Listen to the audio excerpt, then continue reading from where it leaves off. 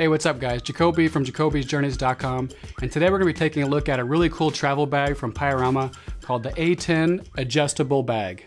So first off, I want to give a huge thank you to Piorama for sponsoring this video and making this review possible. And I'll leave a link in the description box below to their website where they have a number of high quality travel bags and I really recommend checking them out. Also, make sure you hit that subscribe button and turn on notifications so you don't miss any new uploads. So to start off, the bag is made with a high quality material. It folds down really compact, but can become a backpack or a large size travel bag. It's expandable from 31 to 62 liters. So the A10 packs down in a small roll like this, and it also comes with a small bag that you can keep the straps in. So opening the bag, first here's the duffel bag strap, and next are the two backpack straps. It's really crazy that this whole bag packs down in this little tiny roll. You can see the zipper itself that runs the length of the bag is a waterproof zipper, as well as a small pocket on the side of the bag. And the main zipper also accommodates a zipper lock.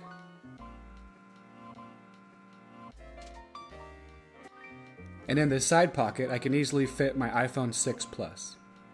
So then looking inside, it has nylon lining throughout the bag. It has two nice sized zippered pockets to keep things organized. So to adjust the size of the bag is really straightforward. Basically, you fill the bag with all your gear, and then you can cinch it down and adjust the length of the bag. Basically going from 31 to 46 and then 62 liters. At each end of the bag, there are small pockets to stash the cord, and this has a magnetic closure. The material and the color is really cool. You can see I went with an army green. It almost has kind of like a vintage finish to it, so it does look kind of aged. So one of the great features about this bag is the fact that you can carry it like a duffel bag or like a standard backpack. It comes with a strap like this that you can use as the duffel bag or a couple smaller straps that you can use as the backpack straps. And these are comfortable pads and fit well. There's also a number of handles on it, so that makes it really great when you're adjusting the size of the bag. You've always got a handle in the right place when you're trying to carry it or move it around. You can also see the nylon webbing they use for all the handles is a really high quality material, as well as the plastic D-rings and other clips that you can use to secure your straps. So you can see when the bags collapse down, it's pretty small and definitely lightweight.